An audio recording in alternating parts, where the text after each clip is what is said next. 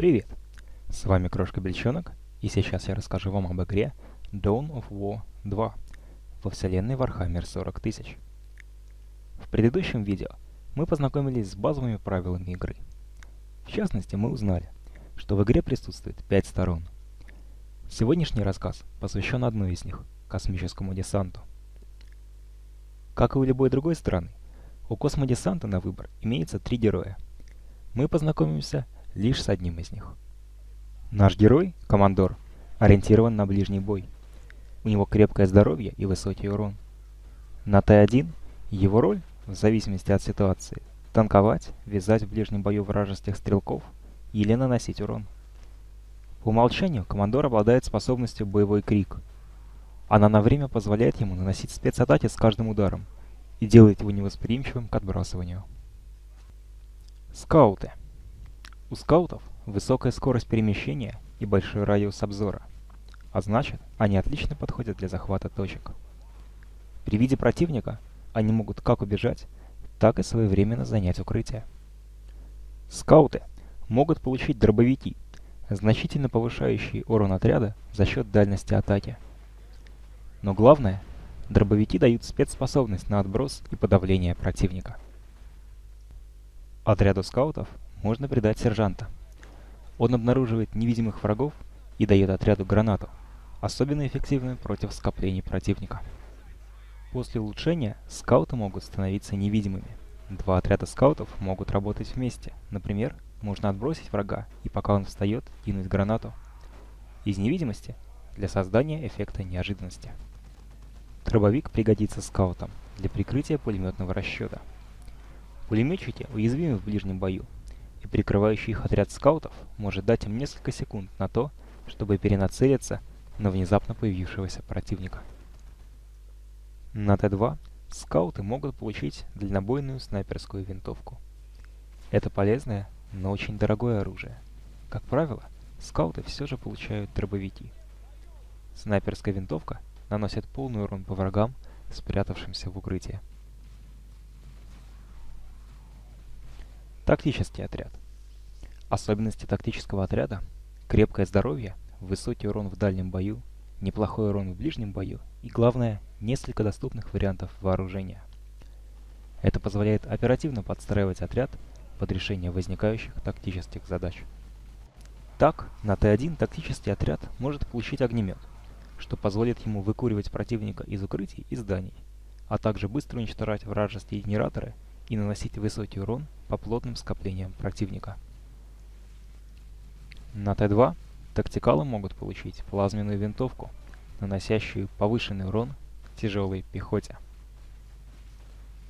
Также на Т2 тактикалам доступна ракетница, превращающая их в борцов с вражеской техникой, машинами, танками и шагателями.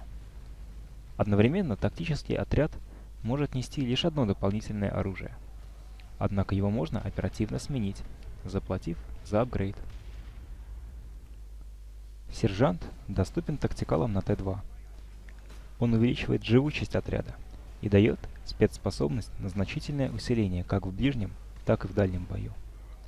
Способность эта перезаряжается при получении урона тактическим отрядом. Пулеметчики или девастаторы. Отряд пулеметчиков требует развертывания, а развернувшись, способен вести подавляющий огонь. Угрозу пулеметчикам представляют вражеские штурмовики, способные повязать их в ближнем бою. Поэтому имеет смысл прикрывать их либо скаутами, либо вторым отрядом пулеметчиков. На Т-2 из пулеметчиков можно сделать противотехнический отряд, выдав им дальнобойную лазерную пушку. Она наносит значительный урон технике и замедляет ее. Штурмовики – мощные солдаты ближнего боя, способные взмывать ввысь и стремительными коршунами обрушиваться на противника. Основная их задача – вязать в ближнем бою вражеских стрелков и тяжеловооруженные отряды. При прыжке они разбрасывают противников, и пока те встают, начинают нарезать их своими пиломечами. На Т2 штурмовикам можно дать сержанта. Это значительно повысит урон и живучесть отряда, а также даст полезную в ближнем бою спецспособность, разбрасывающую противников и наносящую им урон. Кроме того, на Т2 штурмовики могут получить гранаты. Оглушающая граната на время выводит из строя врагов, укрывшихся в зданиях. Мельта-бомба повреждает и замедляет вражескую технику. Снова командор. На Т2 герой получает персональный телепорт и два оружия – молот и перчатку. Молот обладает мощной спецатакой и эффективен против больших скоплений противника. Перчатка эффективна против одиночных целей и техники. Тяжело вооруженный отряд с плазменной пушкой доступен на Т2. Он наносит высокие повреждения, разбрасывает вражескую пехоту и способен нанести немало бед противнику. Его следует прикрывать другими отрядами. В одиночку он долго не выживет. Плазменная пушка – дальнобойное оружие и отлично подходит для решения соответствующих тактических задач. Она наносит урон всем войскам в зоне поражения, в том числе союзным. Старайтесь не подставляться под ее огонь. БТР «Носорог» доступен на Т2 и является вашим мобильным транспортом. Он позволяет отрядам быстро перемещаться по полю боя, а его дымовая граната работает, как зеленое укрытие. Вблизи БТРа ваши отряды могут восполнять потери, как и вблизи главного здания. Также БТР можно построить для того, чтобы заставить вашего врага потратиться на антитех. Обычное стрелковое и холодное оружие малоэффективно против техники. Дредноут. Эта шагающая машина смерти появляется на Т2. Его основная задача — отвлекать на себя огонь противника, пока ваши бойцы расстреливают врагов. Впрочем, он и сам может за себя постоять. Дающаяся ему по умолчанию спецспособность разбрасывает и оглушает находящихся поблизости врагов, а также наносит им немалый урон. Дредноут может получить пулемет. Это ослабит его в ближнем бою, но даст дистанционную атаку и спецспособность, эффективную против скоплений вражеской пехоты. Также дредноуту можно дать мельта-пушку, оружие, эффективное против техники.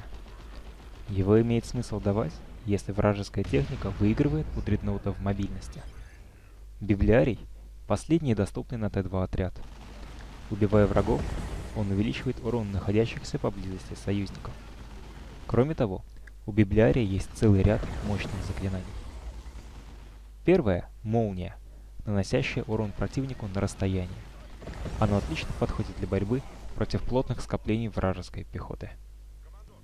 Второе — ускорение, под действием которого Библиарий движется быстрее, а получаемый им урон снижается в 10 раз. Заклинание подходит для выхода из боя или для того, чтобы отвлекать огонь на себя, пока основная армия занимает позицию для атаки. Остальные заклинания доступны после соответствующих улучшений, каждый из которых дает новое заклинание и усиливает библиария. Третье – ускорение союзного отряда. При этом, если для ведения огня отряду нужно сперва развернуться, он делает это мгновенно. Заклинание хорошо работает в связке с пулеметчиками или медленными терминаторами. Четвертое заклинание. Телепорт дружественного отряда к библиарию. При правильном использовании значительно повышает мобильность сравнительно медленной армии космодесанта. Последнее — силовой барьер.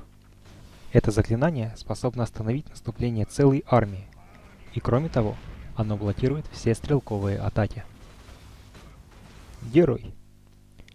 На Т3 герой получает штандарт, усиливающий близстоящих союзников, и броню Терминатора. Получив последнюю, герой может выбрать себе оружие – огнемет, пулемет или силовые когти. Все три оружия весьма эффективны. Танки и терминаторы. На Т3 космодесант получает танки, эффективные в дальнем бою. Танк можно усилить, укрепив броню и улучшив пушку. Также на Т-3 становится доступен вызов терминаторов, мощного отряда, эффективного как в ближнем, так и в дальнем бою. Командор может вызывать также штурмовых терминаторов, не способных стрелять, но отлично проявляющих себя если им удастся подойти к противнику вплотную. Итак, мы познакомились с отрядами космодесанта. Поняли, что у каждого из них есть своя тактическая ниша. Напоследок дам общий совет. Космодесант – сторона в целом сильная в дальнем и слабая в ближнем бою. Это обуславливает стиль игры за них. Защищаться, пока не накопится критическая масса бойцов, после чего можно начинать активные боевые действия. Надеюсь, это видео окажется полезным для вас. Успехов и до встречи!